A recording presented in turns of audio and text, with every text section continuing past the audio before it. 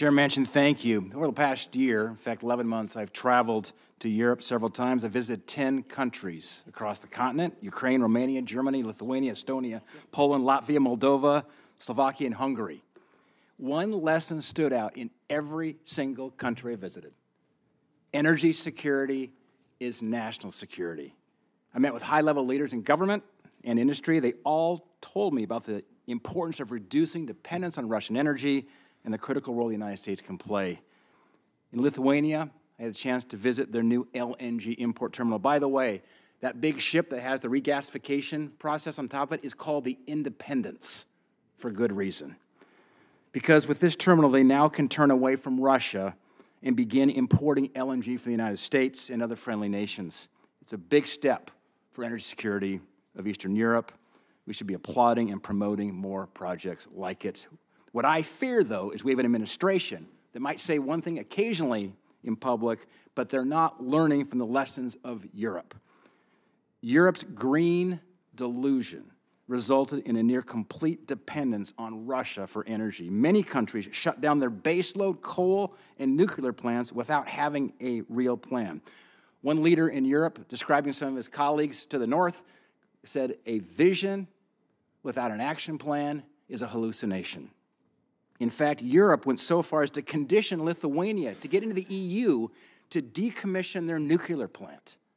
Lithuania used to be a net energy exporter, but because it was the green whim of the moment, when, when anti nuclear for a period of time, they had to shut down their plant to get in the EU, leaving them very vulnerable. And thank God for LNG that's helping make up now for that loss of baseload power. It's truly baffling we can't let this administration take us down the same dangerous path. I don't think this administration is learning anything from it.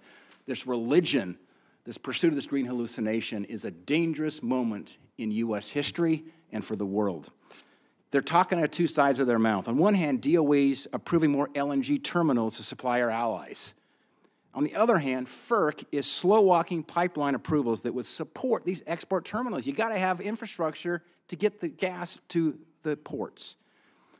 We take a step forward by banning Russian oil imports, but then the Department of Interior cancels lease sales, increases fees and taxes on small producers, stalls a plan for offshore oil, enacts regulations after regulation to close on domestic production, and of course, he shuts down the Keystone Pipeline in Montana, which was, besides being a million barrels a day of oil, is $80 million of tax revenues every year to impoverished counties across Montana.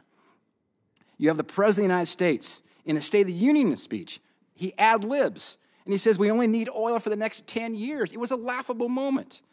But even his own Energy Information Administration, the EIA says, quote, petroleum and natural gas remain the most consumed source of energy in the United States through 2050. That's coming right out of a subset of the DOE. Dr. Light, what's the deal? Does this administration have a real plan to stop Putin's stranglehold on Europe, cut off his war chest that's funded by energy exports, or is this administration talking out of both sides of its mouth? Thank you very much for the qu uh, question, uh, Senator Daines. And uh, I have to say personally, thank you very much for the travel that you've done in the region and the expressions of Amer support of the American people to these countries who are on the front lines of everything. So we really do appreciate that. Um, I, I, do believe we have a plan. I think that we've seen it in, in action. We have seen uh, an absolute surge in LNG exports to Europe, uh, far more than we did in 2021. 2022. This didn't happen by accident. It wasn't just you know purchasers in Europe deciding that they were going to turn to LNG out of desperation. There was a lot of concentrated efforts by this administration, including at a very critical moment when price when there was a price crunch and a supply crunch last year, persuading the Japanese and the Koreans to defray some of their LNG uh, uh, tanks, tanker shipments that they were getting there, in, instead to surge them to Europe where they were more needed. Yeah. So there is an effort here for cooperation that we're. Right, but, but I'll say, and, and I appreciate that, may interrupt, is it, um, we just put the 100th judge on the bench here of the Biden administration.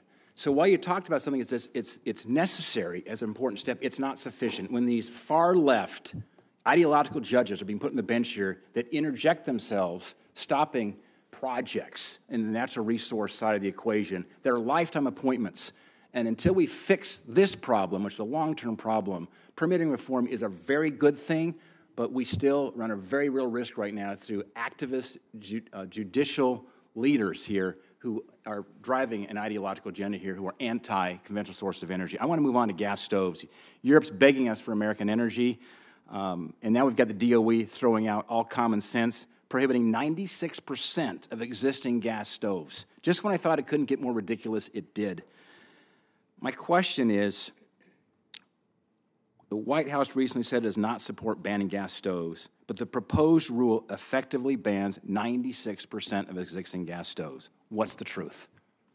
Uh, The president does not support the banning of gas stoves. I want to know what the rule is, though. I understand what the president says up in front because he knows politically, he's got an absolute firestorm on his hands because people are looking back and saying, this is ridiculous. So, so, sir, I, I would be very happy to arrange for a meeting between the staff for the. uh, the I, I just want to, is it the truth, is the rule Energy ban ninety-six percent of existing gas stoves? Right, and that's outside the purview of my office. I'm sorry, sir, but it, it's, I'm international You don't have an answer. We want to get an answer to that. E- Yeah. EERE, I'm sure, would be very happy to have a meeting with your staff to talk about those questions and, and get to a good answer. Thank you. Thank you,